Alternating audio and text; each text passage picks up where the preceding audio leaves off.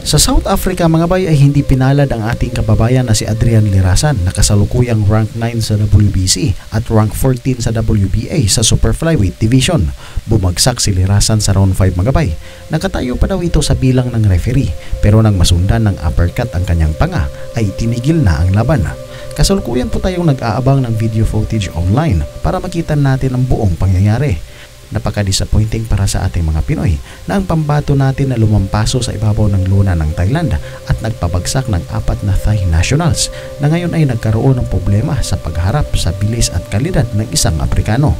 Sa Facebook post ni Adrian Lirasan Magabay ay unang ang nagpasalamat ito sa lahat ng kanyang taga-suporta at walang nangyaring masama sa kanya sa laban. Sinabi rin itong nabigo siya sa pagkakataong ito pero ginawa naman niya ang lahat sa duelo.